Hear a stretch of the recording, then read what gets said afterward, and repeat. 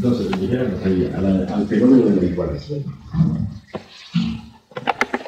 Y llega el momento en que las dos malinitas de agua quedan completamente igualadas. Que en principio hay una especie, se produce un desorden por el intercambio de fuerzas, de sustancias, de, la cuestión calórica, tal, después van mediante la entropía y ese desorden nos lleva a la igualación.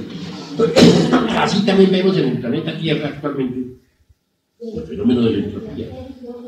Hay un desorden que no se puede negar en toda la naturaleza. Sale por ejemplo, en días completamente azules, que debería, en plena montaña, que debería estar todo un bellísimo azul, sin mancha. Se encuentra uno que tal, que el azul celeste de hoy en día ya está maculado que tiene un ligero color brumoso y grisoso, lo mismo. Ya no tiene ese azul índico, índigo, ese azul purísimo de otra No, ya el azul actual es de un color plomizo. Los, hombres de más de 50 años conocimos el cielo azul, azul de verdad, ¿verdad? Sin mancha, violado cuando salimos ahora a los campos, en días de, sol y de vida, en que no hay una sola nube, podemos verificar por sí mismos que ya no tienen nada de ese bello que tenía. Bueno, es distinto. Ahora tiene el color ese grisáceo. ¿De dónde ha salido? Pues de la contaminación. De manera que el smog no solamente afecta directamente a las ciudades, ya ha afectado toda la atmósfera del planeta Tierra. Ahora, si vamos a eso de los mares, da dolor ver el proceso de entropía en los mares, el desorden que se está produciendo en la vida, en la, vida de los peces. Están muriendo por montones. Especies enteras han desaparecido por la contaminación. Los ríos no se digan, todos contaminados. Todos los peces desapareciendo o ya desapareciendo. La tierra toda esterilizándose. Ahora los desiertos se han hecho más grandes. Ya no alcanzan las tierras cultivables a producir el alimento que se necesita para 4.500 millones de personas. Eso es gravísimo. Y al paso que vamos, viene una gran hambre que va a asolar el planeta entero. Los frutos de la tierra han quedado. Ya no come uno manzanas, se acabaron las manzanas. Ahora no nos queda más remedio que comer perones. Manzanas verdaderas ya no existen. ¿Por qué? porque los sabiondos de la tierra alteraron las plantas, los árboles frutales. ¿Con qué?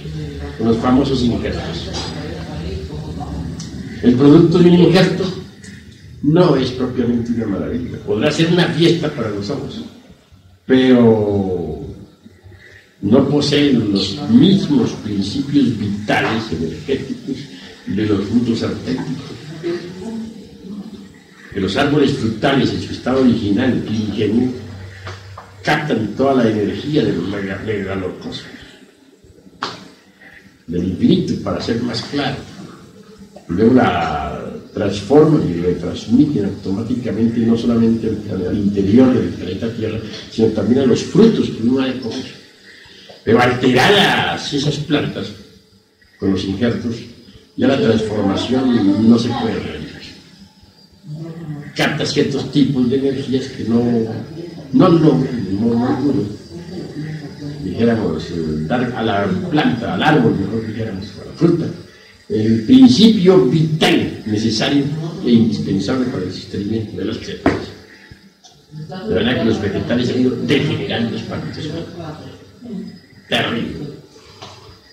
Por otra parte, continuamos nosotros, o seguimos nosotros en estos análisis, vemos que aparecen enfermedades desconocidas por que quiere la humanidad. ¿Qué quiere decir eso? Son desórdenes de la entropía.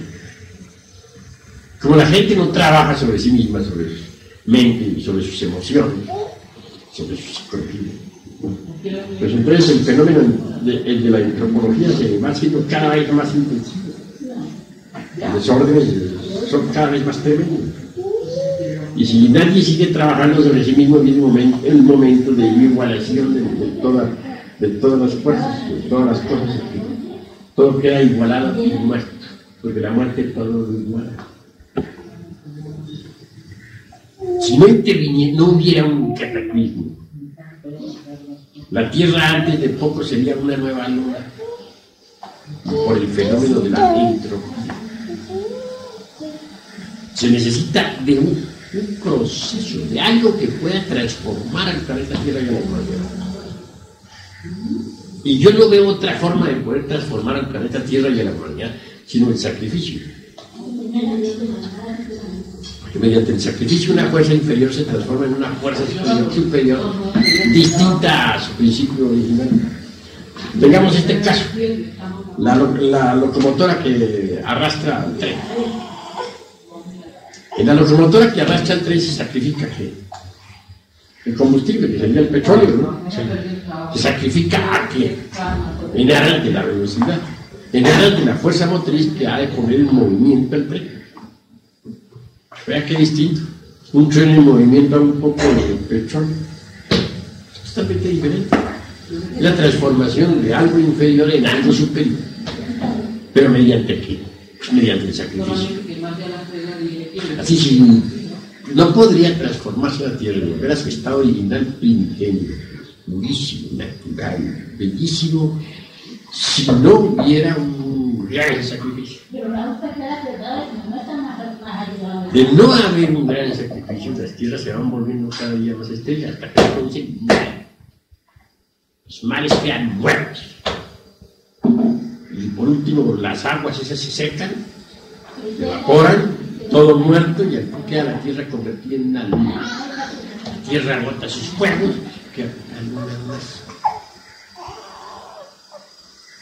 Tiene que haber un sacrificio necesario para que se produzca una transformación y resurja una vida nueva de su mismo caos. Ese sacrificio en grande será un gran holocausto.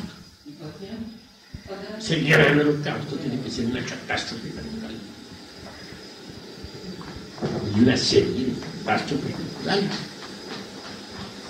Y todo va caminando hacia esa gran catástrofe y si examinamos cuidadosamente lo que está pasando actualmente, el cosmos nos indica lo que va a suceder. El sistema solar del cosmos es maravilloso. Lástima que yo no tuviera aquí, dijéramos, el plano aquel. Lo, lo estábamos llamando a para Sí, si ya lo tenemos en Africa. Tú lo conoces, ¿no? Sí, esto hubiera sido fantástico. Traerlo. Ese algo extraordinario está pintado por los mejores astrónomos del mundo.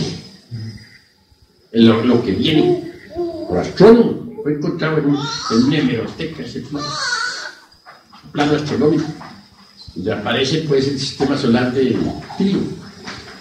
¿Cómo es que se llama? Tiro. Tiro. Tienen su juego de mundos alrededor y entre esos está el Columbus.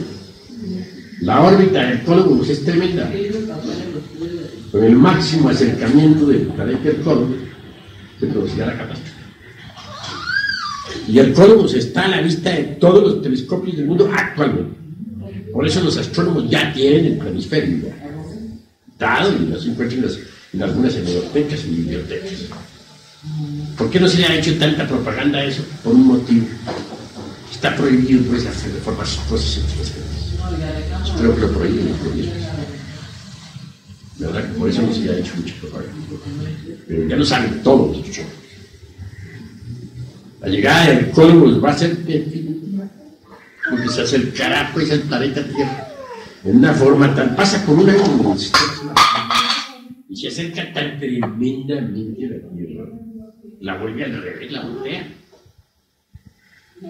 La voltea. El polo va a quedar convertido en Ecuador. Ese Ecuador hoy en día van a ser los polos de mañana. Bueno, lo que, hay, hay, que examinar en el, mapa, el planisferio ese, el plano ese, mapa astronómico. Es, pues, eh, calcular un poco más o menos si la Tierra va a quedar más alejada del Sol o menos alejada del Sol. Lástima que no, no se pudiera traer, no se pudiera traer. Si no podría ir a México. Me atrevo a pensar que va a quedar más cerca del Sol. Pasa por el ángulo este. Claro, tiene que empujar. Va a quedar más hacia el Sol, más cerca. ¿Pero a qué distancia va a pasar? ¿Ah? ¿A qué distancia? Demasiado cerca.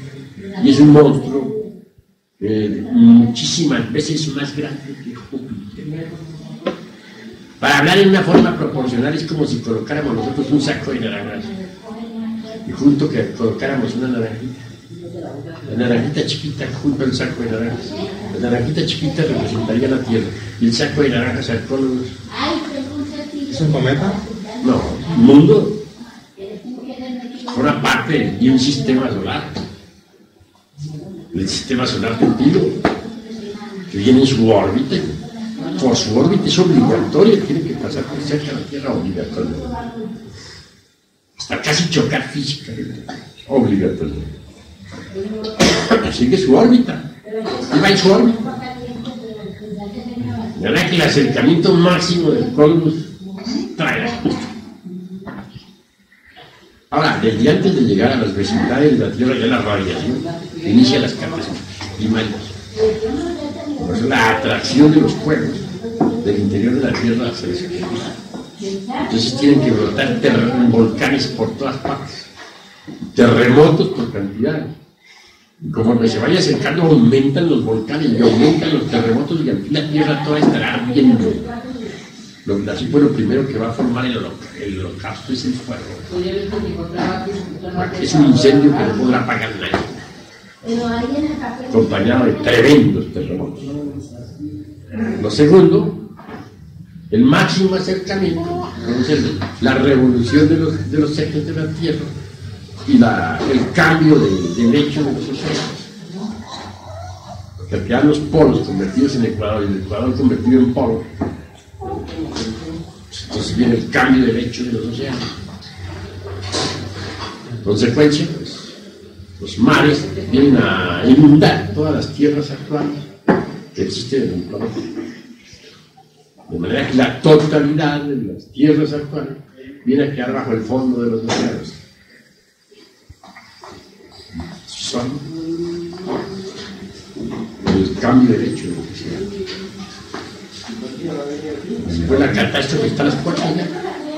Está las puertas, ya viene el fuego. Está a la vista de los mejores telescopios del mundo. Y ya también los astrónomos tienen los mapas. ¿eh? El que tenemos nosotros en la que acá se acaba precisamente de una. Es lo más completo. Porque mapas, lo que he visto, tú lo viste, ¿no? Es de lo más completo. Venerable maestro, ¿y usted ve conveniente que se pudiera traer ese mapa o pudiera mandar a traer ese mapa? Sería bueno, ¿no? Pero ¿quién lo va a traer? Bravo, sí. Bravo. Había que llegar allá a buscar así. Primero que todo, localizar a así. Y el tiempo ya muy reducido. Pero ya está pintado los observatorios ya. No es una cosa, no estamos hablando de algo meramente empírico, sino es algo que es aceptado. Y no se le ha hecho la propaganda por evitar precisamente la psicosis.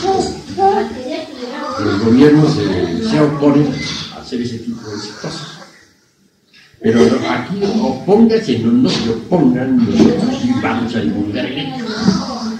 Tenemos el agua. Maestro, acá hay una serie de enlaces que ya lo una serie de preguntas a ver si cree conveniente que, que se, la, realicemos en la grabación de televisión. ¿Quién fue Nostradamus? Pues Miguel de Nostradamus, el gran médico francés, obviamente fue un gran iniciado también en los misterios del Egipto. Y cumplió una misión, cuidado, una misión específica en Europa. Lo más famoso para mi modo de ver de Miguel Nostradamus, entre sus obras figuran las centurias. Las centurias. Esto es lo más extraordinario. Bien escritas todas sus profecías en México. Y hasta ahora nunca se ha equivocado. Sus profecías se han cumplido con tanta exactitud como una ecuación aritmética, como una acción para ser más. Nunca han fallado. Todo se ha cumplido. En la Segunda Guerra Mundial, por ejemplo, hasta el nombre de Hitler. Solamente por ahí como que en una letra, porque se equivocó con Hitler. Pero no se sabe si sería el que se equivocó, sus traductores. Pero da el nombre de Hitler del tío él. Y lo llama el revoltoso. Habla de la alianza con Mussolini. Un hombre tan antiguo como Nostradamus por allá del siglo. Bueno, no me acuerdo ahorita la fecha, pero era de que fue 1500 y cuatro. 1500 años. Bueno, y sin embargo, pues, vean ustedes. Todo se vino cumpliendo. No solamente las profecías antiguas, sino las modernas. Y, por- y ahora viene la y ya está confirmada por los observatorios del mundo entero. Ya está confirmada, ya hubo científicos en California, en la Sociedad de Investigaciones Científicas, una sociedad de investigaciones científicas de California, sí, en que se propuso ya la, cuestión de bombardear el Hormuz, bombardearlo con bombas atómicas para des- desviar su. Es decir, transportar el carro, el carro, lanzar bombas de alto explosivo atómico. Maestro, entonces, Cosa que la considero imposible, él. Porque pueden bombardearlo, pero no lo desvían. Yo no niego que puedan tirar unos cuantos bombas. Pero de eso a que lo desvíen hay una gran diferencia. Una mole de ese tamaño, una mole de ese tamaño, con ese peso que trae, miles de veces más grande que la Tierra, muchísimo, no, como que son no sé cuántas veces más grande que Júpiter. Es un monstruo. ¿Qué bombita atómica lanzada contra él por los terrícolas le hace estos maestro, entonces sí le, le, le hacemos esa pregunta. ¿Quién fue Miguel de Nostradamus? Bueno, sí. ¿Sí la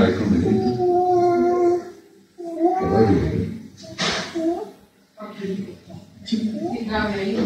Ahora, otra pregunta es, ¿qué es la entropía? Se la hacemos. Eso está interesante. Pero lo que veo es que el tiempo está tan limitado, ¿son Bueno. cuántos minutos? Acá ya se le, desde el momento en que sentó, se sentó aquí hasta ahorita, ya pasaron los 17 minutos. Hasta ahí yo. No, pero ha hablado una cantidad de cosas interesantísimas. Así, de esa forma, por eso le vamos a hacer todas las preguntas variedades. Le preguntamos también sobre la guerra mundial, la tercera guerra mundial. Sobre la ayuda extraterrestre. También. Eh, se le puede hacer esta pregunta, dice, ¿cómo repercute el desorden de la Tierra en el sistema solar?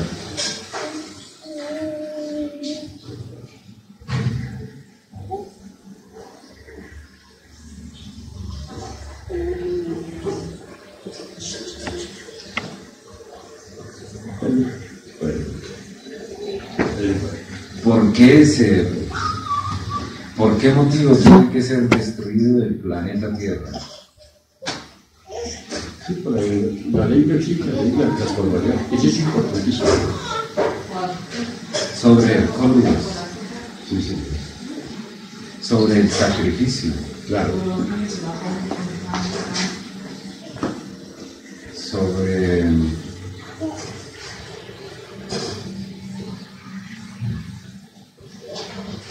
Acerca del movimiento, pues, vamos a hablar un poco. No convendría.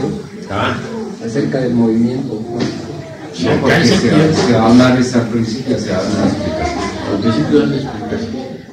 Porque la, la gente lo que le interesa del maestro es nos va a hablar de esta cosa novedosa. Pues sí, la hablaremos de forma clara para que la gente sepa que nos encontramos en este momento. Es en los tiempos de que están tan dormidos que ven el proceso de entropía que están viendo en el planeta Tierra y en la humanidad entera y en todo lo que existe. Tan, tan dormidos, repito, tan que, que ni remotamente sospechan lo que va a suceder. No se dan cuenta que están en vísperas del gran holocausto tan necesario para poder para la transformación. Pero qué grado de inconsciencia que- yo me horrorizo de verlos tan. No, y en la vida práctica no he visto la gente tan dormida. El día que me tocó ver, por ejemplo, en, en el Distrito Federal, hace unos 20 años, ¿no? la famosa, una explosión terrible que hubo de dinamita en la colonia federal. Pues me asombró no la explosión, sino la inconsciencia de los bomberos. Cuando hubo la primera explosión de dinamita clandestina que había en un, lote de terreno, estaba yo comprando, estábamos, digamos, revisando asuntos de, de un reloj en una joyería que me había mandado a arreglar aquí migrantes. Y resulta que fue tremenda explosión. Volaban latas y zapatos, cosas, y cinco en polvo. Entonces ella quería que regresáramos cuanto antes a casa, pero si yo calculé las cosas, si regresamos a casa tenemos que ir a tomar un camión. Si tenemos que ir a tomar el camión, tendremos que tomarlo en la esquina precisamente de la manzana donde sucedió la explosión. Y si viene una segunda explosión y nosotros estamos en la esquina, obviamente moriremos. Y le dije a ella, no, ahora no regresamos a la casa. Va a haber otra explosión. En eso llegaron los bomberos. Cuando los bomberos llegaron, le dije a ella, y se metieron en el lugar de los acontecimientos, le dije a ella, de esos que entraron, no saldrá uno vivo, morirán todos. Y dicho. Vino una segunda explosión y perecieron todos. No se encontró nada para ser sepultado. Se desintegraron atómicamente. Lo único que lograron encontrar fue la bota de un sargento. Más nada. Claro, después eh, vinieron pues, las máximas de siempre, los lemas, las justificaciones, las alabanzas, el valor de los bomberos, qué extraordinarios, qué valerosos el cumplimiento de su deber, de su obligado. Pero yo que estaba viendo las, cosas tal como sucedieron, me di cuenta que estos bomberos iban con la conciencia totalmente dormida. Porque si hubieran ido con la conciencia despierta, no se meten ahí. Porque es hasta torpe. Sabe que, que- que puede- se puede ir a hacer algo en un lugar donde hay dinamita explotando. Esto no lo hace sino alguien que esté demasiado dormido. Hay toda prueba de valor, es inútil. Es absurda. Estoy de acuerdo en que haya valor de los bomberos, claro, estos tragahumos son valerosos de un 100%, tienen- son verdaderos héroes de todos los días y dignos, de de- entre otras cosas, de toda alabanza. Y si hay gente que se sacrifica son los tragahumos, ¿no? por salvar a la humanidad y todo. Pero tenemos que saber una cosa, que ahí procedieron con la conciencia dormida. Ahí no iban a salvar a nadie. Depósitos de dinamita un terreno de ¿Quién van a salvar?